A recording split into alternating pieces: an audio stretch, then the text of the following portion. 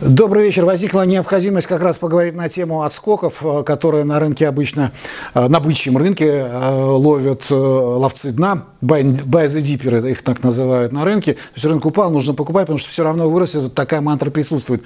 Очень опасная стратегия в нынешнее время. Всем, конечно, хочется повторить подвиги 2020 года, марта, когда рынок упал, там купили, рынок бурно рос, по многим акциям несколько концов поймали, но сейчас эта стратегия стратегия очень опасная. Связано это прежде всего с тем, что общая конъюнктура на рынке, она сильно меняется. Американский, э, европейский в перспективе Центральный банк перейдут к ужесточению монетарной э, политики, к, уже ужесточают э, монетарную политику, повышают ставки во многих странах развивающихся, российский Центробанк повышает ставку, и все это может в итоге привести к уменьшению ликвидности и к сдутию тех фондовых пузырей, которые мы наблюдаем в отдельных сегментах. Они есть, это точно, но весь фондовый фондовый рынок, он э, э, заранее дисконтировал восстановление глобальной экономики. Но э, сейчас возникла очень интересная тема. Второе, или там третий, вернее, омикрон, новый штамм коронавируса, который в пятницу вызвал нервную реакцию на рынке.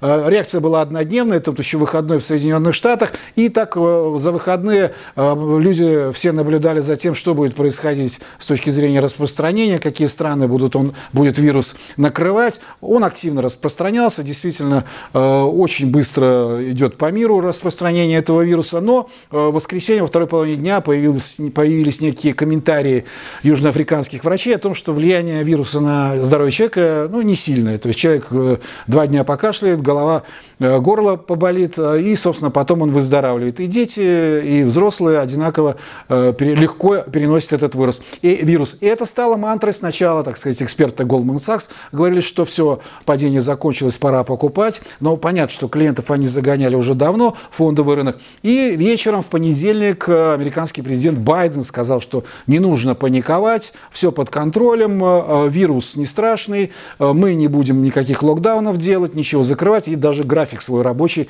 Байден не стал менять. Но в этом контексте возникает вопрос. Если а, а, вирус распространяется намного быстрее, чем другие вирусы, я не буду с точки зрения медицины говорить, чисто чистая логика и реакция э, финансистов, какая должна быть на э, то, что происходит.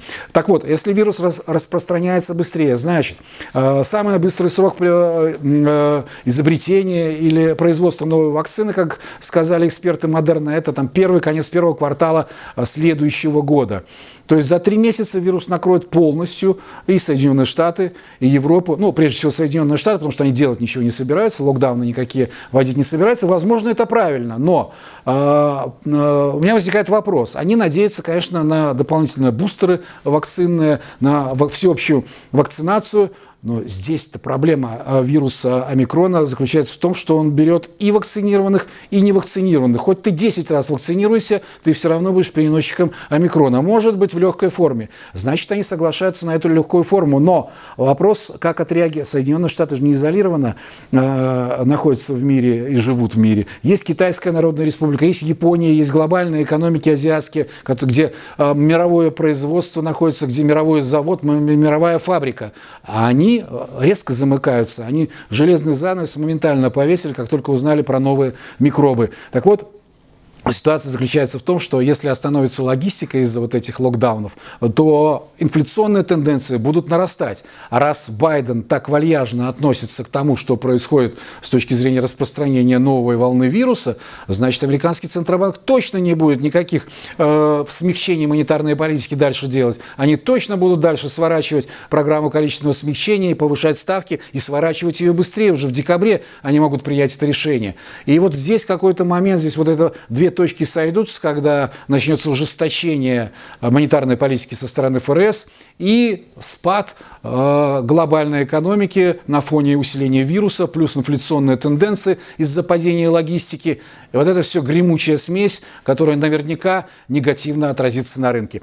А полное видео с графиками, с обзорами э, вы можете, конечно, смотреть на канале Богдана в курсе. Подписывайтесь, как это делать. На сайте есть маршрут. Вот этим маршрутом, если есть желание, можете идти. Спасибо за внимание.